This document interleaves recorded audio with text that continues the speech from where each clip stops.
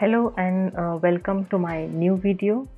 Today I'm going to share my experience in working on a test automation POC for a Flutter application. In the past, we at Pertia Technologies have worked on mobile automation for native and hybrid applications. Uh, we had used Appium and Cucumber for the same. However, uh, this particular requirement from our client was a bit new to us. Now, as a part of discovery phase, we started researching on how to test automation, you know, uh, for such applications. Obviously, we try to check on Google and on internet if someone has already worked on it. But there was very little help available on the internet uh, I came across a, a, GitHub repository where I could find a POC, a small project wherein a sample application was automated. But then using it as it is uh, was difficult. I really had to struggle a lot to understand few things here. And then on lot of doing researching and going through different blogs, I could conclude on certain things. Now here are those first thing I could understand is you need a debug APK uh, which has to be built with certain configurations. I will look into detail of these configurations. Second thing is you will not find any Maven repository for the libraries that you need to access the Flutter elements. Now the way we have for uh, Appium, you don't really get Maven repository for Appium Flutter driver. So Appium Flutter driver is something you're going to need to access the Flutter elements and this is an open source library which is available on GitHub. So what you will need to do is you will need to download this and then use it in your local repository. Now the other prerequisites uh, for this automation is same as we uh, have it for the uh, native or the hybrid uh, application so the prerequisite is like you need uh, to have a jdk uh, you should have android studio you should be setting the path for jdk and sdk uh, you will need Appium inspector to inspect the elements and appium server as well.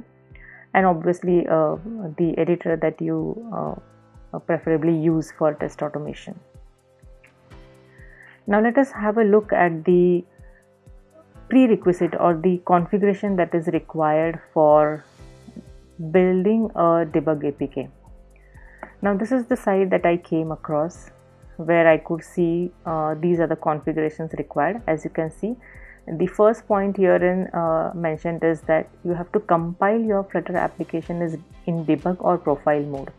Now appium's flutter driver does not currently support apps built in release mode. Now what you need to do or probably these are these are the configurations that you can share with your development team uh, who can actually uh, make such configurations for you and build the debug apk for test automation. The second step as you can see here is uh, you need to specify this dependency in the pubspec.yaml file. Then you need to import this dev dependency.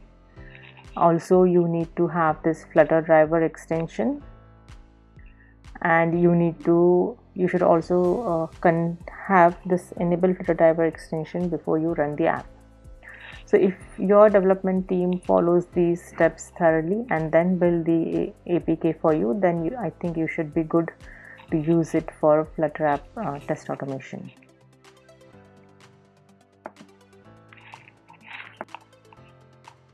Now let us understand how to inspect the Flutter app. App. Now you need to use the Appium inspector. Uh, this is what I have already have it open at my end. Uh, the capabilities that you need for a Flutter application is you need to mention the platform name. As you can see, the automation name uh, I have mentioned for now is UI Automator. However, uh, for the flutter application you need to make it flutter. Now why i am using it uh, ui automator 2 is i'll explain it further. And then obviously uh, you need the device name and the apk file path.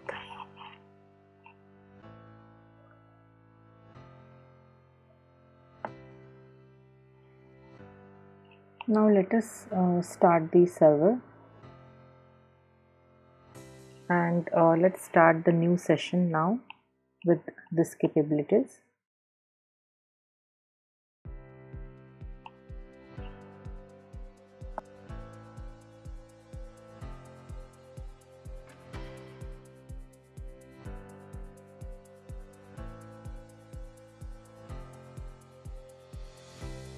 as you can see uh, now the elements are getting loaded. The app is already launched uh, sometimes it's just you need to refresh it again.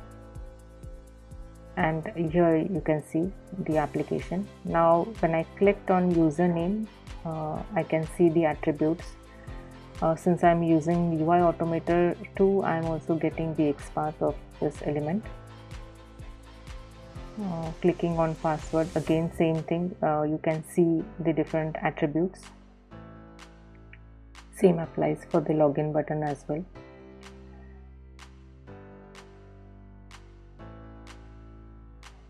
So this is what I have experienced that even if I use UI Automator 2 I am still able to access the elements. Now let us see what happens with Flutter.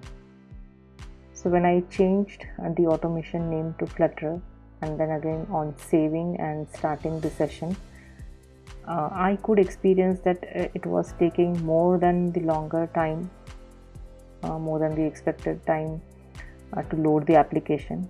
In fact at times it wasn't loading anything. I was unable to see the app here. So this is something very contradictory.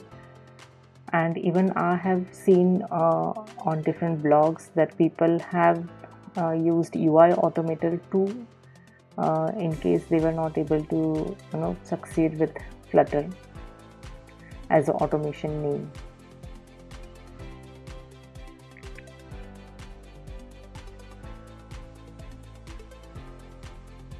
As you can see it is still not loaded.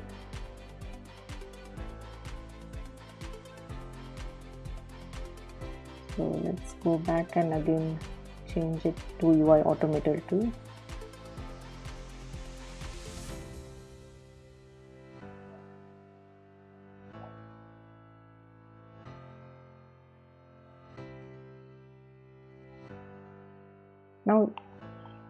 I think it all depends upon how the application has been developed. Uh, you may find a blend of Flutter as well as some native elements so I think in that case also uh, UI Automator 2 should work for you. However, in certain cases, you know, you have to switch between different contexts. So if where there is a mix of Flutter and native elements, uh, you need to switch the context the way we do for hybrid mobile uh, automation, right? So you have to switch between native and web elements. So similarly for here, uh, if the application has flutter as well as native elements then you will have to switch between different contexts now here in the code base you can see here uh, these are the capabilities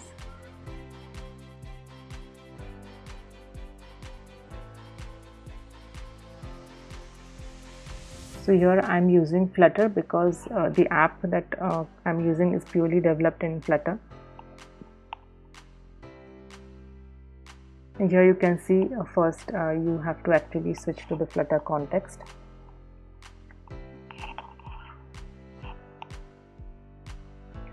Uh, here you can find uh, is the library. As I mentioned the, this is something has been downloaded from github and added to the local repository so this is how the flutter elements can be accessed uh, using their different properties. Most of the time it is by value key. And this is what we have used to access the username and password. Now let me run this test. Uh, I'm using Vysor uh, so that I could uh, screencast my mobile screen initial setup may need some time. Now you can see the app is launched and username and password are filled and then click on the login button. And here you go.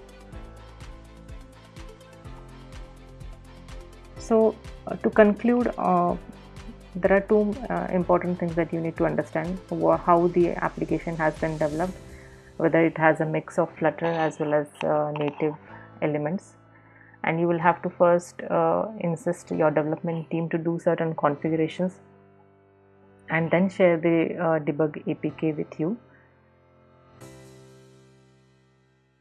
And you should be able to uh, you know uh, try out different using different automation name using flutter as well as ui automator too.